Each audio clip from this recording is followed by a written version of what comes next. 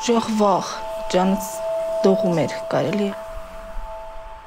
Պատերազմի մասին պատմելու բան չկա, ինչքան թողոբոհ ա եղել սաղին վրով անցել։ Նորմալ լավից վատից արդեն ամուսինս կստեղծեր, տուն տեղ էր դնում, իր ծառայություն։ Իմ աշխատանքս, իմ երեխու աշխատանքը, իմ հաշմանդամների հասնելիք սաղնդեղից է։ Ես ստեղ ոնց պիտի ապրեմ։ 27-ի առավոտներ ուժեղ կրակոցներ լսվեց, ամուսինս հելավ դուրս,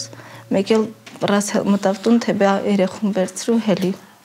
Հելան գնացինք մտանք բադվալներ, բադվալի մեջ միջև իրիկուն սպասինք, այդ կրակոցներ ավելի ուժեղացան,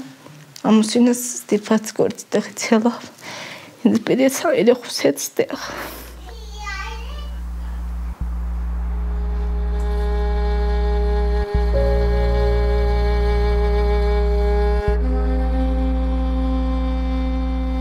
Ամուսինս արդեն լավից վատից կստեղծեր տան ապրուստ, բայց հիմա ասեց տենց շատ կան տան մեջ, հնարավոր չի պատկերացրու այդ տան մեջ ապրել արդեն։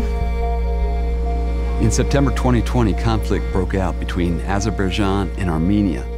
Since then, a peace agreement has been signed, but many people have been affected, many people have been displaced. However, Samaritan's Purse is working on both sides of the border assisting and bringing hope.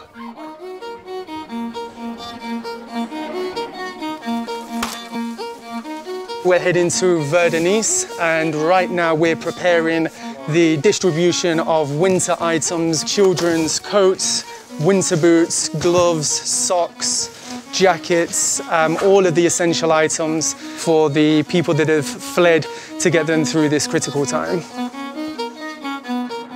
Samaritan's Purse is here to meet the physical needs of the beneficiaries by providing winter kits as well as a two-week provision of food every month. And we have a mobile medical team which is going to shelters which are hosting hundreds of displaced people from Nagorno-Karabakh and providing free medical care. I'm really excited for Samaritan's Purse to be here, not just to provide physical aid, but also to reach out to people emotionally and spiritually and come alongside them and encourage and love them. Ես գիտեմ, որ ես մենակ չեմ, Աստված ինձ հետ է։ Ես երբ կանչել եմ իմ հետ ա եղել։ Pray for those who are displaced and affected. But more importantly, pray for the people of Armenia, for the people of Azerbaijan, that God would touch their hearts, that God would bring healing. But most importantly, pray for the gospel, that God would work in the hearts of the people.